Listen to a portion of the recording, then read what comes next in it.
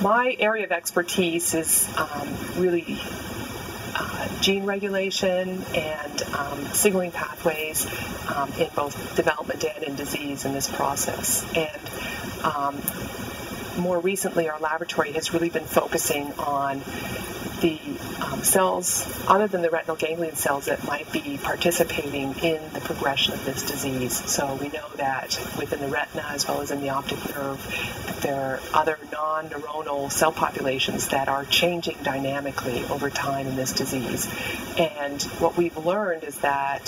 some of these changes are among the earliest events that we can see. So even before we see decline of the neurons themselves, we can see that these cells are changing and responding and potentially um, um, impacting the health of the retinal ganglion cells, either positively or negatively. Um, and so we're really trying to focus in on what's the significance of some of these changes,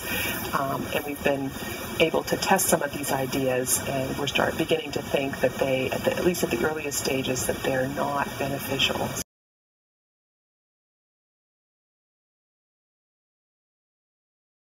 The disease is, um, even though I focus on early stages, it's a it's a gradual process, and even in a human patient, even partway through the disease, there may be part of the retina that's been diseased for quite a while and is severely affected, where another part of the retina is just starting to get sick. And so we think that even by focusing on these early stages, uh, we may be able to stop progression in that part of the retina that's just starting to get sick and sort of put the brakes on, on the progression of the disease. And so the goal is um, to really find treatments that are going to translate um, into therapies in the clinic that may even benefit patients that have already started to lose vision um, but maybe still retain some vision um, and functionality. We want to be able to preserve that.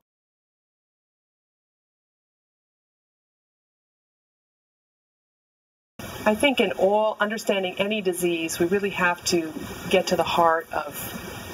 what's happening um, to the tissue and to the cells, um, the mechanism, the process, um, and the pathways, the signaling pathways that are involved. These are events that we can then more specifically target with drugs or specific therapies. Um, and I think the what we've really learned over the last um,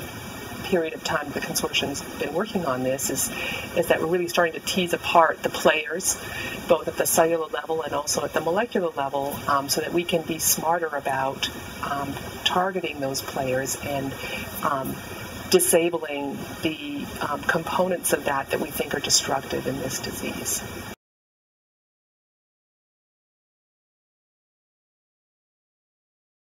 The work over the last period of time has allowed us to really come up with very firm hypotheses or predictions about what we think is going on. Um, and we're now in a position to really um, test those ideas um, directly and also test whether specific therapies or treatments may that target those events that we think um, are involved are actually going to slow or, or cure the disease. And um, I think the challenge is is to take these predictions or hypotheses um, and over the next three years really translate that um, into rigorous testing of those ideas, coupled with um, testing the efficacy of specific um, therapeutics or interventions that target the pathways that we think are involved.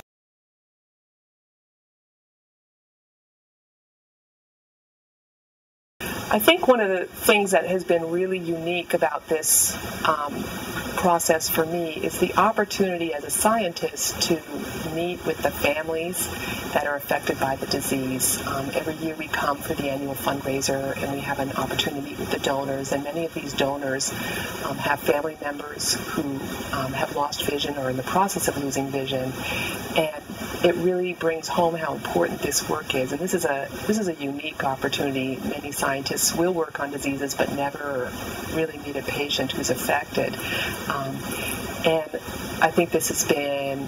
really important for me to focus our efforts and constantly keep in mind that the goal of this has to be to treat and cure this disease. And we really hope that our work is going to advance that effort.